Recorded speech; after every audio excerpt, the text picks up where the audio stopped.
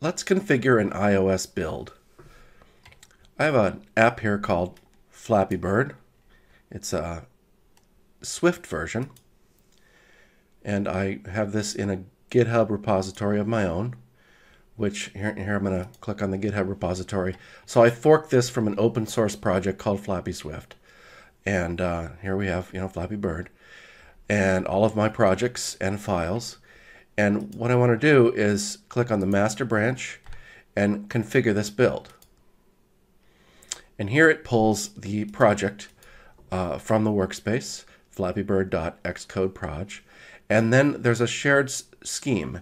Now, this isn't always straightforward. Uh, so sometimes you're going to get a little red error message here that says scheme missing. And so what you'll need to do is go back into your Xcode project, manage your scheme uh, in your tools, and then share that scheme. And then what that'll do is create a scheme in your project rather than in your local user folder. And then it'll show up here. So if you see that message, that's what you need to do. Uh, share your scheme. So here you also have your Xcode version, uh, and you can pick which Xcode version you'd like to run it against. Um, build scripts. Uh, there are three different places where you can run build scripts within App Center Build. And I'll go ahead and drill down into the documentation so that you can see where those are. Um, they are post clone right after App Center Build uh, clones the repository and before it builds it, pre build right before it builds it, and then post build, uh, which is a great place to put calls out to test scripts, for, ins- for instance, App Center Test. So those are the three places in which you can put custom scripts. Uh, build frequency. Right now, there are two basic build frequency options. The first one is to build this branch on every push. That means every time a developer does a push to your repo, it will do a build. Um, the other one is manually choose when to run builds.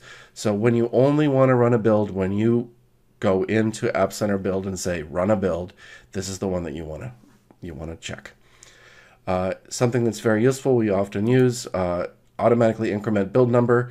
Uh, this is just a way to keep track of your builds and and automatically keep track of your builds, either by incrementing a, an ID or by having giving it a timestamp. Uh, the other one is uh, if you have any XTC tests uh, on your projects, this is a way for you to run them automatically. Of course, if they fail, the build will also fail. Environment variables is a way to uh, ascribe name value pairs to your build so that you could use those uh, name value pairs within your build process, particularly within your scripts. Uh, that is the ones that you put in over here under build scripts. Uh, sign your builds. Uh, you have to sign your builds if you want them to run on devices. And so we're not going to do this now. Do it in a later module, but you, you'll need to set up your provisioning profile and your certificate and upload those here in order to sign your build. Uh, test on a real device. Uh, if you sign your build, you'll then be able to test on a real device. And what this does is utilize a, sort of a basic uh, implementation of App Center test in order to just run, when you get a successful build, to just run it far enough to see that it runs and then it'll give you screenshots of the main page, and then that's it. That's all it does. But basically, it's a smoke test to let you know that not only did your build succeed, but your build actually ran on a, on a real device up in Test Cloud. That's what run on a real device does. Uh, distribute uh, is how you get your builds out to your testers, and we'll go into that in a, later module.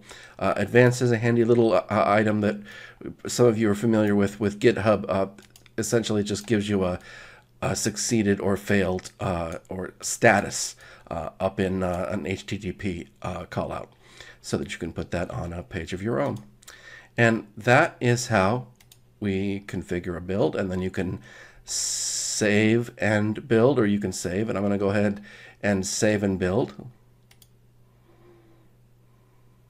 And that's going to queue up our build in the build queue